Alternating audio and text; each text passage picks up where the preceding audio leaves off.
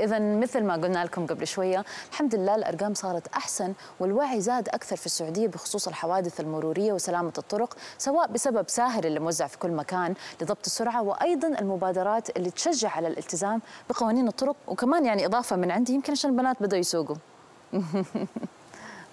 يا صحيح نسال دحين نسأل الضيف؟ وبالحديث عن المبادرات في مبادرات في مبادرة جميلة جدا. هي مبادرة السائق المثالي اللي أطلقتها المنطقة الشرقية وهي بالإضافة إلى أنها بتس بتمسح كل المخالفات.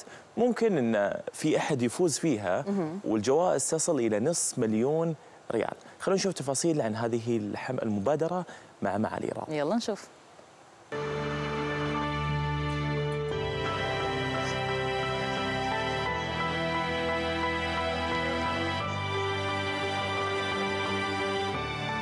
بهدف التقليل من حوادث المرور وما ينتج عنها من إصابات وإعاقات دائمة أو حتى وفيات. انتشرت في الآونة الأخيرة في شوارع المنطقة الشرقية كاميرات ساهر لمراقبة السائقين الذين يتجاوزون السرعة المحددة ويرتكبون مخالفات أخرى كقطع إشارة المرور وعدم ربط حزام الأمان واستخدام الجوال أثناء القيادة وفي مبادرة فريدة من نوعها. وعدت لجنة السلامة المرورية السائقين المخالفين بتسديد مبالغ مخالفاتهم في حال عدم ارتكاب مخالفات جديدة لمدة ستة أشهر. جائزة المنطقة الشرقية للسائق المثالي تظهر بنسختها الخامسة لهذا العام وما هو جديد فيها اللي هو استحداث فرع جديد وهو سأكون سائقا مثاليا. من شروط هذا الفرع أن يكون المخالف عنده مخالفات بقيمة 5000 وما فوق. في الحالة هذه يندرج ضمن المتسابقين ويلتزم معنا لمدة ستة أشهر بعدم ارتكابه أي مخالفة. وبعدها ينتقل إلى مرحلة الاختبار النظري والعملي ومن ثم ثم يتم الفرز. وبعدها يتم اختيار المتسابقين حسب السكورينج اللي حصلوا عليه. وفي حالة الفائز الأول يتم تسديد عنه ما يصل إلى 30 ألف ريال. شخص لما لما يلتزم مدة ست شهور وكان مخالف في وقت ما أكيد إنك أنت يعني في هالمرحلة دي يلتزم هذا الشخص وكفيته شر نفسه وشر الناس. تغيير أي سلوك ممكن يأخذ 21 يوم لتغيير أي عادة ويصبح طبع. قرار إيجابي شجع آلاف الشباب من أبناء المنطقة الشرقية على الاشتراك وتسجيل بياناتهم في موقع الجائزة. والله أنا عندي مخالفات يعني للأسف بأكثر من 36 ألف ريال تراكمات سنين.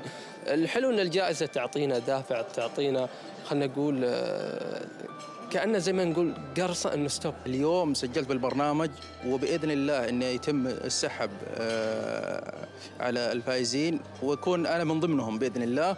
وراح التزم بالسرعة وبحزام الأمان وبالجوال بالتحديد الجوال. يعني سناب شات هو اللي أكثر شيء أثر علينا صراحة في مسك الجوال. جائزة السلامه هذا حافز كبير جدا راح ينقل لنا نقلة نوعية. ليش؟ لأن إحنا جايين داخلين على جيل جديد اللي هو قيادة المرأة.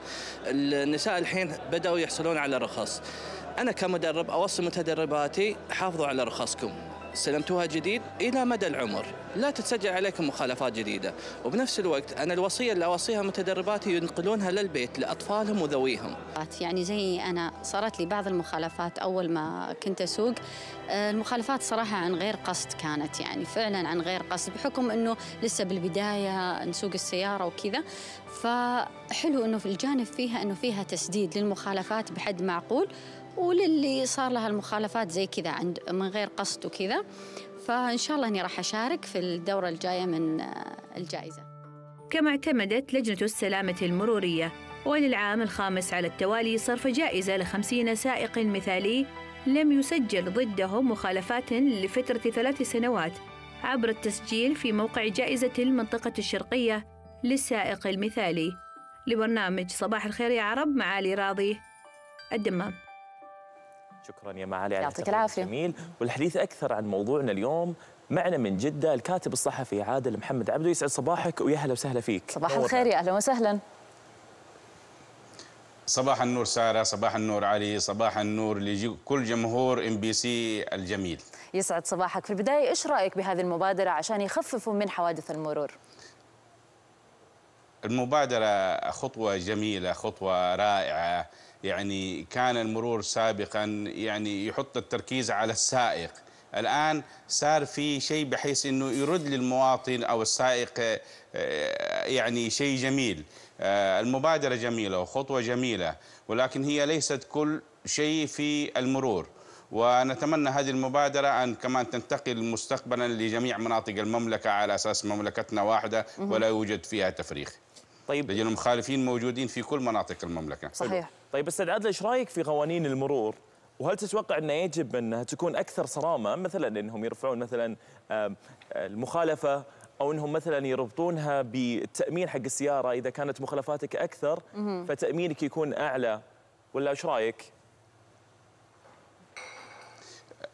أنا مع. إنه إنه الم- المخالفات وهذا تكون منطقية وتكون فيها رحمة للناس إنه فرضا أجي أحط قطع إشارة 3000 هذه كثير ممكن أحطها أول مرة 500 ريال ثاني مرة 1000 ريال آه ثالث مرة 2000 ريال رابع مرة فرضا 3000 وتستمر عن 3000 ما تزيد. لازم يكون في تدرج. لأنه يجي إنسان قد يقطع إشارة سهوا لا صحيح. سمح الله. الاشاره صحيح. قد يكون خلف أشجار خلف لوحة.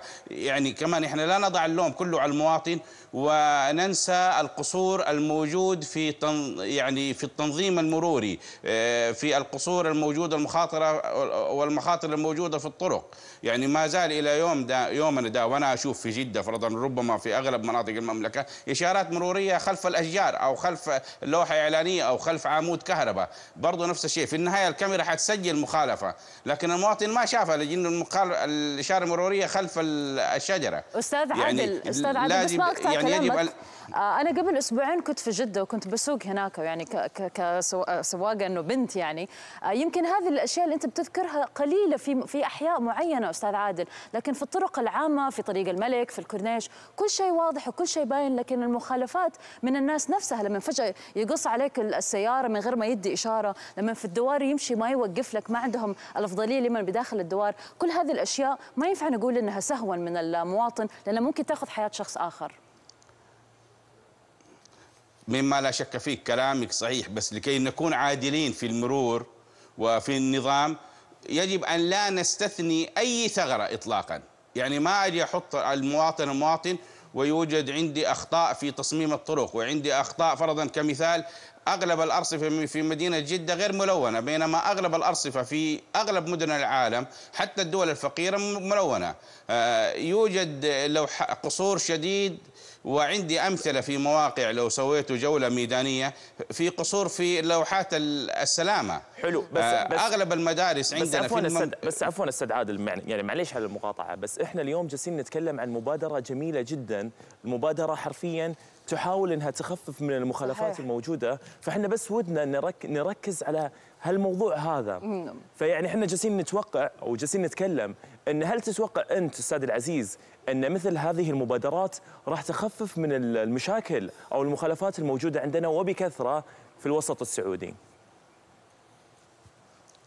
الم- الم- المبادرة هذه حتفيد بعض الناس اللي عندهم مخالفات لكن ما سوت لي شيء يعني هي تقريبا للاستهلاك الإعلامي أكثر من كونها إنها تعزز ال- الوضع المروري. في عندي قصور في أمور المرور يجب أن ينظر لها. ليس فقط المبادرة. المبادرة ربما أكثر تكون للاستهلاك الإعلامي وتتجانب وتت يعني وتتعامل مع جانب واحد. لا، بس عندي عفواً، بس- جوانب بس عفواً- ثانية بس عفواً إذا أستاذ- فعلا كنا صادقين. أس... عفوا أستاذ عادل أستاذ عادل للأمانة للأمانة مبادرة جميلة. هدفها سامي هدفها حلو. إحنا جالسين لا أنكر هذا الكلام. لا يعني هو- أنكر هذا هو الكلام. فكرة- بس إني أنا أضع المبادرة ان تفضل. كوني إني أنا أضع المبادرة إنه سوينا مبادرة. حت حتنقص الحوادث المرورية حتنقص المخالفات. لا أنا هذه في في بهذه الطريقة. أنا ما أعطيت الأمر حقه. يعني المبادرات لو نرجع للتاريخ جميع السنوات الماضية كان فيها مبادرات. حلو. وجميعها كانت في مبادرات جميلة.